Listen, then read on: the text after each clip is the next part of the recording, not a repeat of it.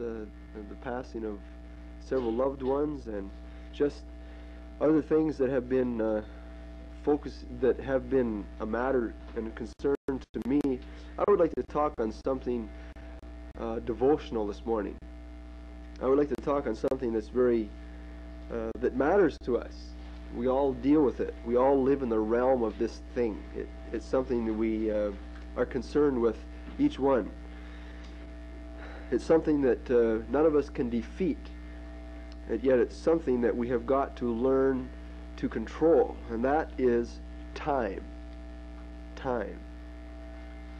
God gives each one of us equal amounts of time in which to operate on a daily basis, day by day. We, he gives us the same number of minutes each day, and what we do with our time really is important.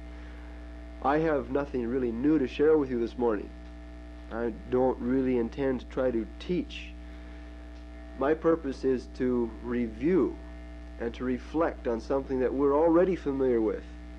But it is good to stop at certain points in our lives and just to reflect, to think about, to look at ourselves, to take a little bit of self analysis, and to see whether or not we're using this most precious commodity the way the Lord would have us.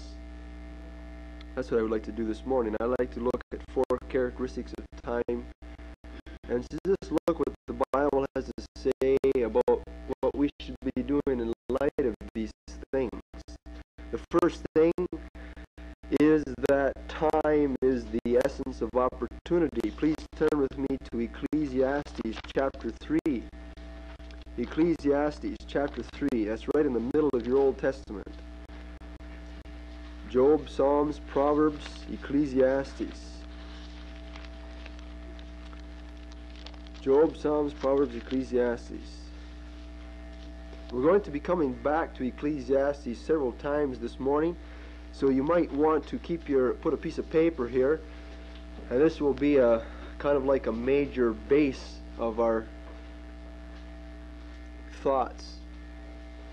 But we will be looking at several other scriptures as well.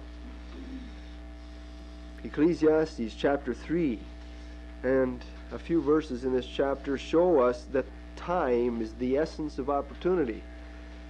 There's a little phrase that, that you can buy it on plaques and, and sticky paper and uh, and so forth at the bookstore. I've seen it several times, where, which says that today is the first day of the rest of your life.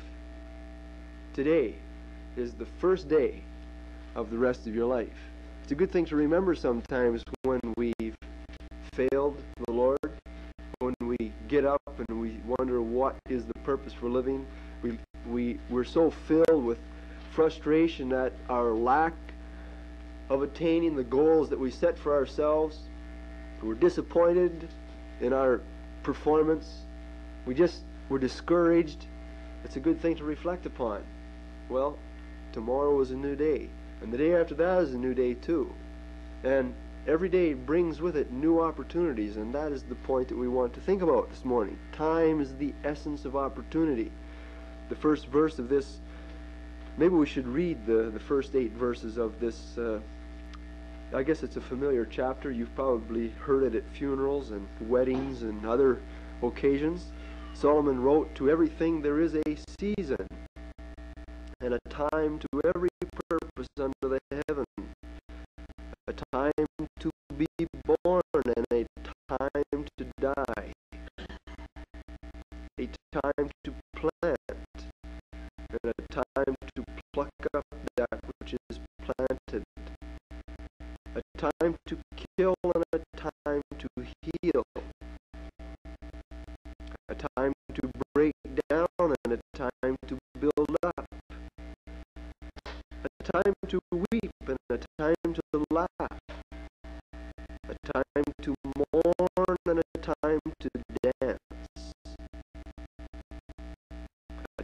to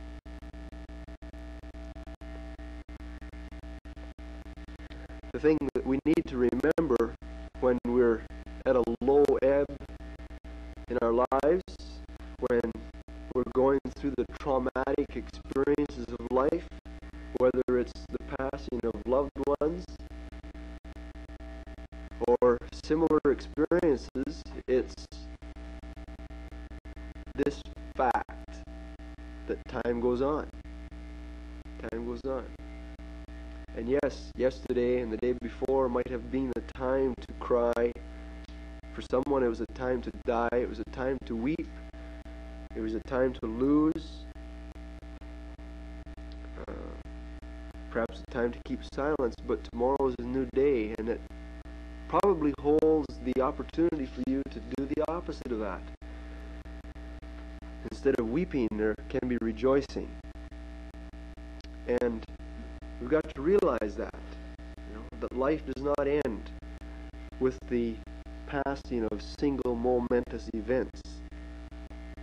Today is a new day, and things happen different every day. Uh, Solomon goes on, and a little bit later on in uh, this chapter, he says uh, in verse 15, That which has been is now. In other words, what went on yesterday is still going on today. You know, people die every day, and people are born every day. And he goes on to say, and that which has, which is to be, has already been. Right? Same thing is going to continue, and God requires that which is past. The significant thing about time is that yes, every day is a new opportunity, and we can change what we have done in the past, what we have failed in the past, God gives us the, a gift every morning to, to be a success today and to be an overcomer today and to win and to, and to learn new things today. We don't have to just follow into a rut and, and to think that, well, all these things, they've determined my existence and I'm going to live this out and there's nothing I can do to really change it. You know, I'm I'm I'm a miserable failure or there's nothing I can do to change this situation. That's wrong.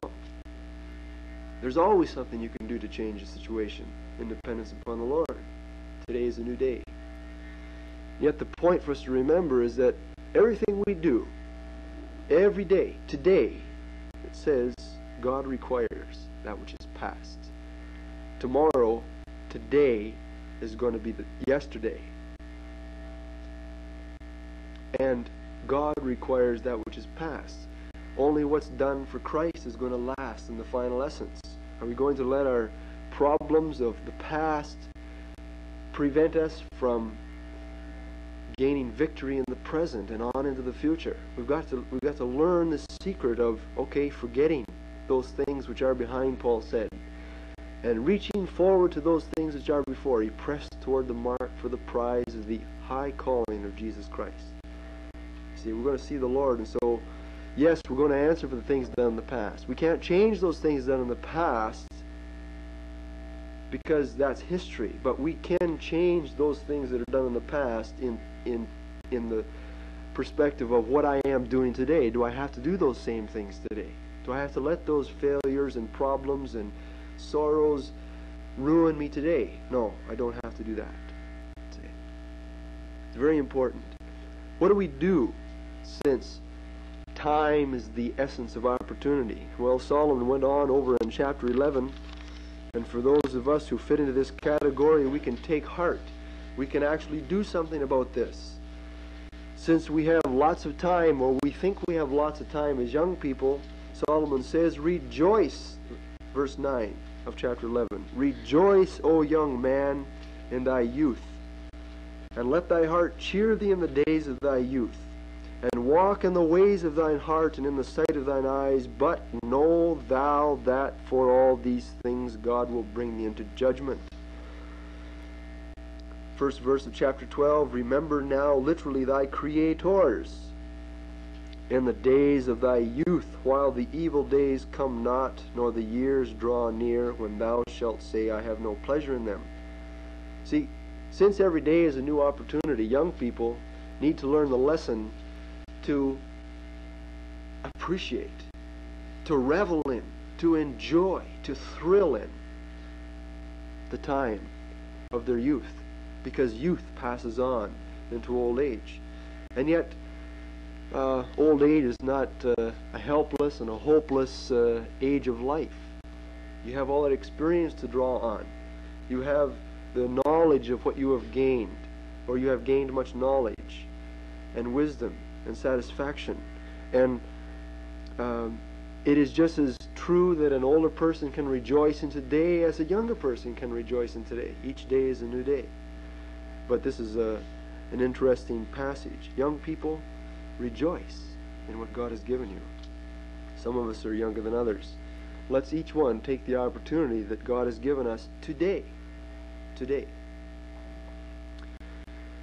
It's not an insignificant thing that one of the most oft repeated phrases in, in the New Testament is, Today, if you will hear his voice, harden not your hearts against the Lord. The Spirit speaks today.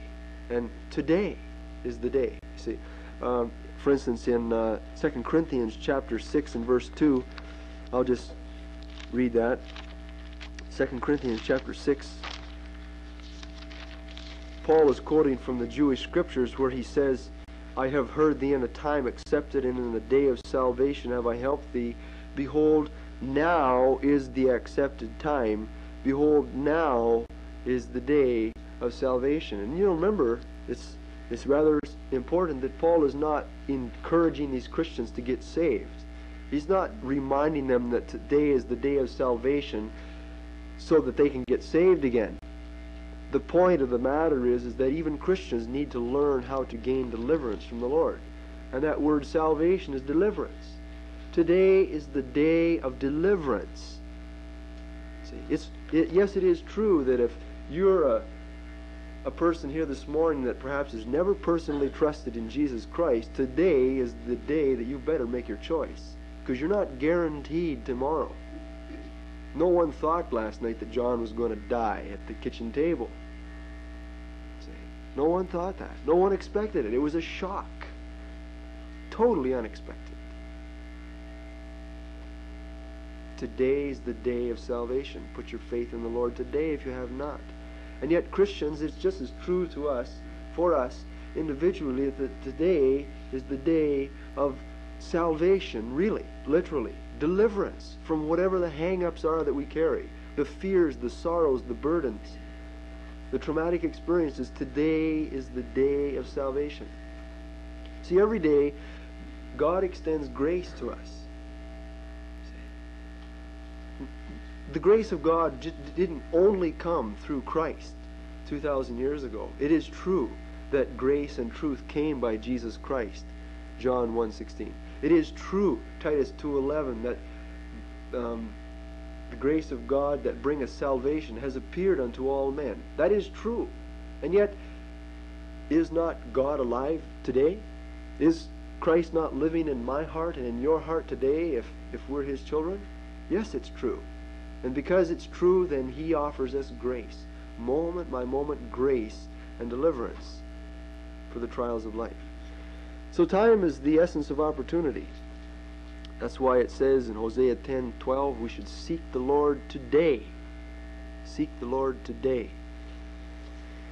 A second characteristic of time is that for man it is short. We've alluded to this. Time is first of all the essence of opportunity, second time for man is short. It has a beginning and it has an end. Again, I'm not telling you anything that you don't know or that I don't know. But let's reflect, reflect upon that little corner of the truth for a moment. Time is short. It has a beginning and it will end. When was the last time that you were you caught, it became uh, a point to your consciousness that, well, I won't have perhaps all the time that I think I might have. I think older people tend to think more about the shortness of time than younger people do. Because they can see it. I think they do. Time is short. And yet, the time may be just as short for a younger person as for an older person. Time for man is short. Notice some of the descriptions of time and life that David gives us in Psalm 89. Psalm 89.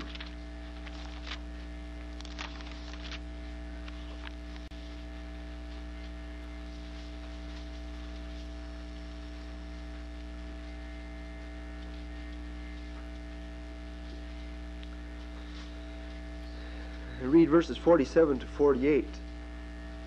David says, Remember how short my time is. Why have you made all men in vain? What man is he that lives and shall not see death? Shall he deliver his soul from the power of Sheol? David was well aware of the fact that he was living on borrowed time. it's quite significant that the 89th Psalm is a poem, literally, that David, the sweet psalmist of Israel, wrote on the occasion of God promising him the great promises of the Davidic covenant and that are recorded in 2 Samuel chapter 7. God said, David, I'm going to give you an eternal throne, an eternal kingdom, an eternal posterity. You know, you're going to have a descendant on the throne of David forever and ever. And then David writes this psalm and he looks at the other side of it, the human side, and he looks around him at the people he knows, and he looks at his ancestors, and he looks at his own self. He looks at his son that just died at eight days old, and he says, Man, what is man? How short my time is. Is this really possible that God is going to bring me into eternity and give me his sweet blessings for eternity? How short time is. David was aware of it. Paul was aware of it. Paul said in 1 Corinthians chapter 7 verse 29, the time is short.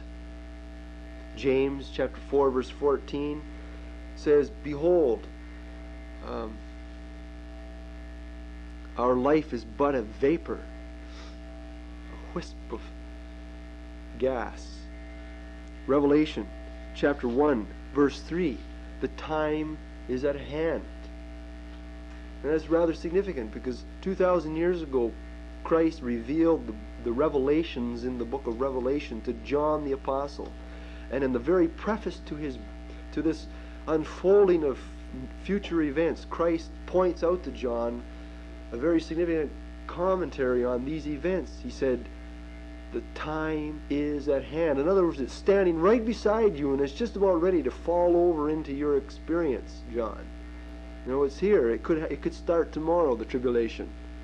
You see, these things that are discussed all through this revelation, they're they're at hand. There are no guarantees of tomorrow uh, being like it is today. That's why you go back to Ecclesiastes, Ecclesiastes chapter 3 and verse 2, what we were reading a few moments ago. And it says, there is a time to be born and a time to die. In other words, it's not a nebulous thing. We don't believe in the in in, uh, in the law of return like the Hindus and the Buddhists do. That you're going to uh, that life is just one unending cycle from reincarnation through change to another incarnation. The Bible says there is a beginning and there is an end. When you you you are born and you die, and it's black and white. And the Bible goes on to say in Hebrews 9:27, "It is appointed unto men." God has a set point in his program to die, and after that it is also appointed unto men to be judged. So what do we do in light of these things? Well, Ephesians chapter 5 verse 15 says, "Walk circumspectly, not as unwise, but as wise, redeeming the time." because the days are evil. Be ye not unwise, but learn what the will of God is. That's a bad quotation of it. But the point is, is okay, you're given a certain amount of time, and we, we know for a fact that it's short. Now, what are we going to do with it? Are we going to play tiddlywinks? Or are we going to buy it up? You know, most people take buying uh, seriously. Some people, are, you know, let it slip through their fingers a little faster than others, but we all, you know, you just don't go out and throw $100 bills in the gutter on Queen Street. We take, you know, you put a little bit of forethought into it. You plan. You price around. You check up on it. At least it pays, you know. You know, all the lumber yards in town are going to have a different price for a sheet of material.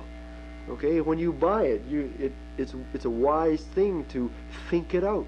And that's the same thing that Paul is saying. Listen, the time is short. Redeem, buy your time. Buy your time. What does it mean? Purchase it. Put effort into it. Okay, you know that you're going to have, or you think, you expect today to have 12 or 18 hours in which to do your things. Are you going to slot any of those moments for reflection on the Lord? Are you going to leave your schedule lax enough so that you're going to be free to talk to people about the Lord, about eternal things. You know, what about the kids? Are you going to spend time with your kids? You know, because maybe you'll die and you won't have time to spend with your kids. And when was the last time you sat down and talked with your wife or your husband, or showed them by giving of your time to them that they matter to you? You know, what are we doing with our time? When was the last time we gave time to the Lord? in service. You know, it's not very many people that do what Jim and Michelle did this summer. And that's not the only way to serve the Lord, but, you know, it is important to give the Lord time. There are many people that have, and the Lord blesses them for it. What are we doing with our time? Time is short. That's why Paul says in 1 Corinthians chapter 7 verses 29 and following he says the time is short therefore let the husbands be as if they were unmarried you know, and they that use this world is not abusing it. Because why? The fashion of this world is in the process of passing away. We are in a stage of evolution. Things are changing. You know, this world is going downhill. It is running out. God knows. And every one of us is a living example of this. The wrinkles are getting bigger and more numerous. You know, and the creaks and the groans and the pains and the the increasing ability, the infirmities, you know, we're just getting more that way all the time. We're not we've got to use our time wisely. Doesn't mean we're to divorce our wives, of course not. But are we going to live solely for a woman? Or solely for a man? Are we going to let that be our whole realm of existence? without thinking of the other things, about the Lord's will, about all these people that are going to hell. Time is short, it has a beginning, it has an end, and I hope that in your life, and I need to remind myself of it, that the bell is going to ring someday, and I want to be ready. I want to have put enough effort into the important areas of life rather than coming up short, you know, and having put all my energies into making money you know, or building houses or making a friend and intimate out of my wife or this or that. There are more important things in life we've got to consider. The third characteristic of time is that it is filled with trouble and need, and it ends with judgment. time is filled with trouble and need, and it ends with judgment. Back in Ecclesiastes chapter 3,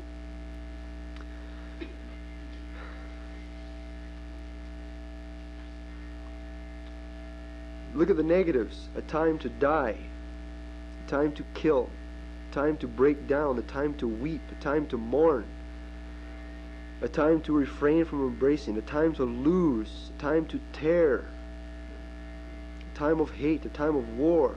And all the way through this book, which is the which are the natural observations of Solomon when he was out of the will of God. And not everything that Solomon says in this book are true, because they were his natural reasonings but they were normal. They were ordinary observations of life. They're the same observations that you and I can make today. We could all write a book like this. Look around you and what do you see? You don't see the world becoming a better place, do you? No.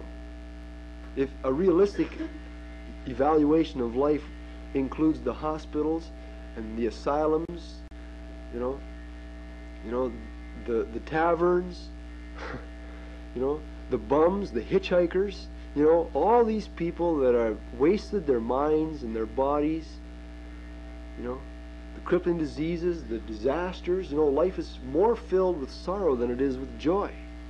In this country, we see a lot more joy than we see of sorrow. But what if you lived in India or Pakistan or Afghanistan or Southeast Asia? Life is filled, time is filled with trouble and need, and it ends in judgment. Even in this this passage in 15, Solomon says, God requires that which is past. Down in verse 17, I said in my heart, God shall judge the righteous and the wicked, for there is a time there for every purpose and for every work.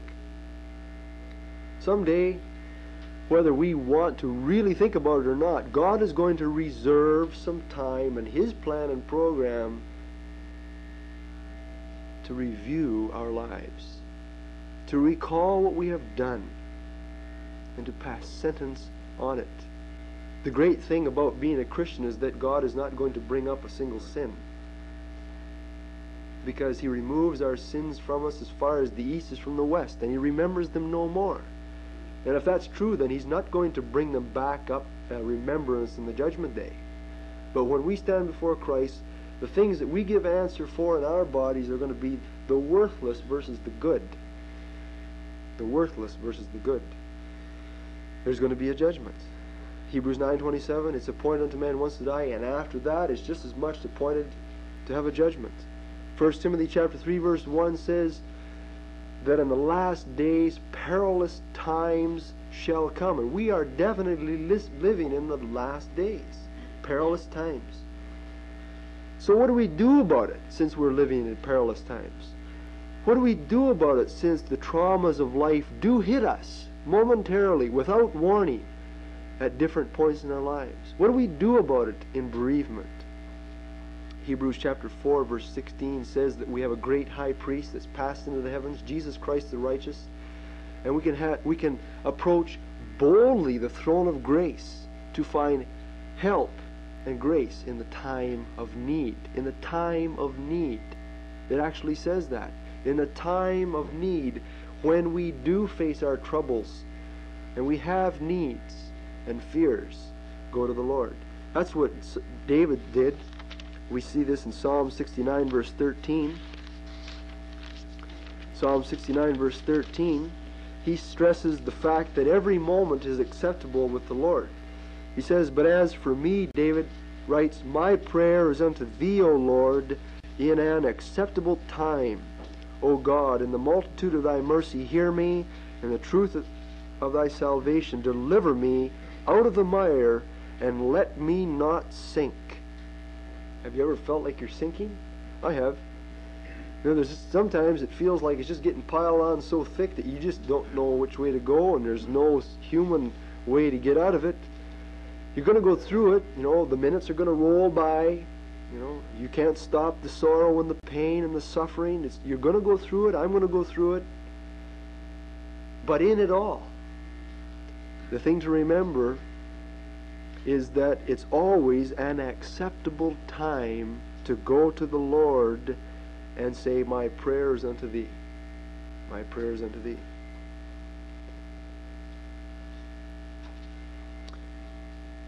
That's why it's, it's really important that we, we as Christians take this phrase, today is the day of salvation, in 2 Corinthians chapter 6, verse 2, and don't just refer that to other people who need to get saved, but it's, it applies to us. Today is the day that the Lord will deliver us out of our troubles and our needs, and that's how you handle them. God has promised judgment, and He's promised that there's going to be troubles, and God brings trouble into the world. That may seem shocking, but it's true. God told Pharaoh, I'm going to make it hail, and I'm going to make it destroy your crops and your children and your possessions. I'm going to bring it. And Pharaoh said, I don't care. I'm not going to listen to that. And so God did it, and He kept His promise. God promised Egypt. He says, the day of their calamity was come upon them, the time and the time of their judgment. See, God has promised calamity and judgment. It says in the book of Isaiah, I create evil. That's God speaking. He says, I create evil. Do you believe that? You better believe it because God is in sovereign control. And He feels and He works out His own purposes by allowing evil in this world. It's not His fault that you sinned or that Adam sinned, but He creates many calamities and distresses and sorrows because He that draws people to a point of acknowledgement of their own helplessness, their own inabilities, and it's supposed to draw them to Him, who is the source for the help to go through those very calamities and to learn of Him and learn to fear Him. That's why Solomon says back in Ecclesiastes chapter 3, let's go back there because this is um, a good picture of it. He says, in verse 14, I know that whatsoever God doeth, it shall be forever. Nothing can be put to it, nor anything taken from it. And God doeth it. Why? That men should fear before Him. We've been talking about fear the last few weeks. And you know, when God does a work, you can't reverse it. You can't change it. When someone, when God takes your loved one, you can't reverse it, can you? Right? Learn to fear. Don't become bitter. Don't blame God. Don't say, Lord, I hate you for bringing this problem into my life. Learn to fear. Learn to fear. Submit to the Lord. He has a reason. Romans chapter 8, verses 28, 29, those most familiar verses to us as Christians. We know, we are persuaded, we can be assured that all things work together for good to those who love God, to those who are called according to His purpose. You see, nothing's an accident, it's all His purpose, a sovereign plan. I'd like to conclude this morning by looking at one final characteristic of time, and that is that time is ordered by the sovereignty of God, which we've just alluded to. Yes, time is filled with trouble and need. Yes, time is short, it has an end. Time is an opportunity, and it's all of those other things because of this last thing that we're looking at, and that is that time is ordered by the sovereignty of God. In other words, He sets everything in motion. In other words, He knows what is going to happen. There's a doctrine in the Scripture called predestination and foreordination. Predestination, you can almost get the idea in the word predestining. In other words, beforehand he lays out my destiny. And that's not just a, an abstruse term that theologians use. It's right out of the Bible.